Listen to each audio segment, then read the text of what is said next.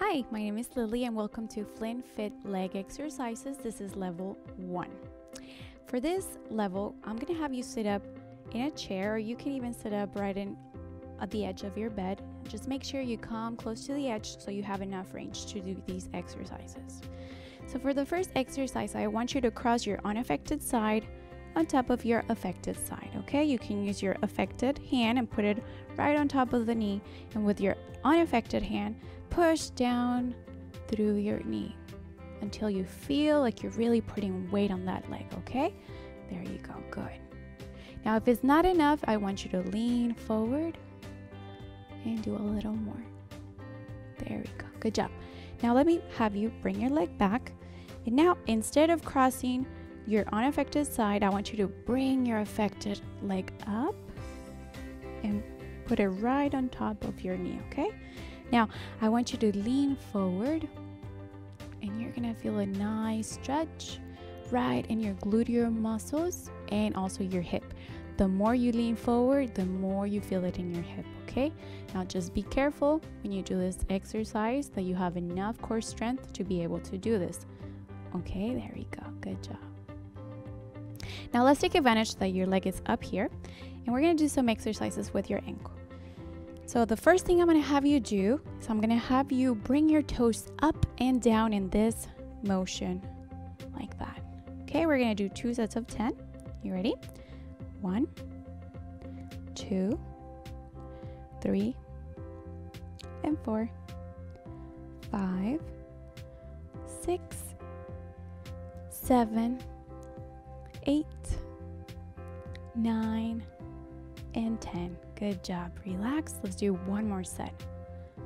One, two, three, four, five, six, seven, eight, two more, nine, and 10. Good job. Relax. So now instead of going up and down, I want you to bring your ankle to the sides in this motion right here. Make sure you really see your ankle moving, okay? Here we go. Two sets of 10.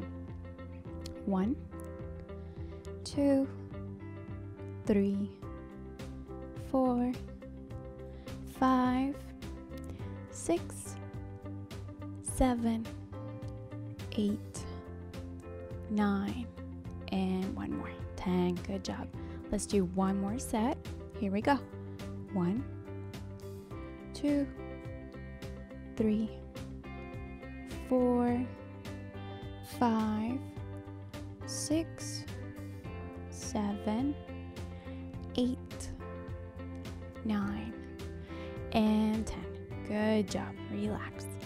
Now, for this next one, I'm gonna have you do some circles with your ankle. You can actually do this clockwise or you can do it counterclockwise. It's up to you. But since we're gonna do two sets, let's do one set each. So let's start clockwise. So something like this. Are you ready? Let's do it. One, two, three, four, five, six, seven, eight, nine, and 10. Good job. Now let's do it counterclockwise. Are you ready? Begin. One, two, three, four, five, six, seven, eight, nine, one more, 10. Good job. Now let me have you use your unaffected side to bring your affected leg down. Good job. Now for the next exercises, I'm gonna have you use a towel. A towel if you're gonna be doing this exercise on tile, or you can use a magazine if you're gonna be doing them on carpet, okay? So make sure your foot is right on top. The first exercise that I'm gonna have you do is I'm gonna have you move your leg in and out in this manner, okay? Make sure your knee is bent. Make sure it's not here or too much here. It's relaxed in a 90 degree position, okay? So let's begin. We're gonna do two sets of 10. Use your unaffected side to bring your leg in and out. One, one, two, two, three, three, four, four, five, five, six, six, seven, seven, eight, eight, nine, nine, one more, ten, and ten. There you go. And the reason why I'm counting one, one, two, two is because two different motions are happening at your hip. We call them internal rotation and external rotation. So it's not like you're doing twice of the same thing. No, they're completely different. So let's do one more set. You ready? Here we go.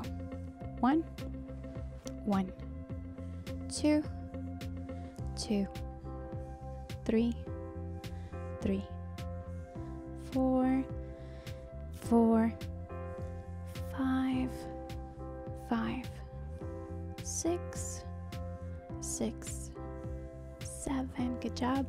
Seven, eight, eight. Two more. Nine, nine. One more. You're almost done. Ten and ten. Whew, that was a good one. Now, instead of going to the sides, this time I will have you extend your leg forward and back. But once again, I want you to use your unaffected side if you're unable to do it on your own. And it's very important that if you feel like you can, do as much as you can on your own, okay? Are you ready? Here we go. Two sets of 10. One and two. Three, four, five,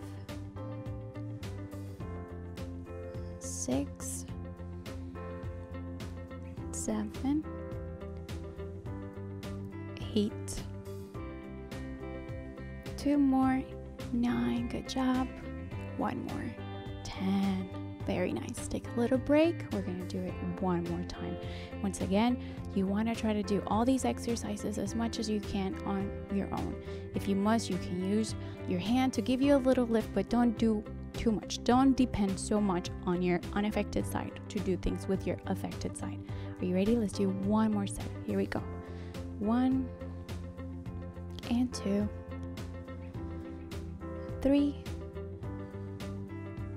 four, good job, five,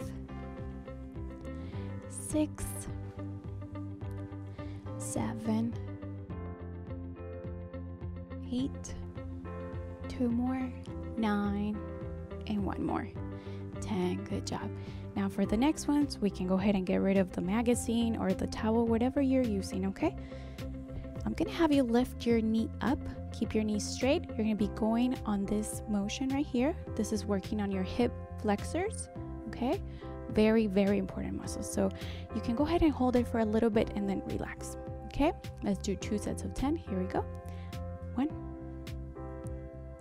and two three, four, five, six, seven, good job, eight, nine, and ten, good job. Now for the next set, I'm gonna hold it a little bit longer, okay? You ready? Here we go. One, relax two, relax, three, good job, and four,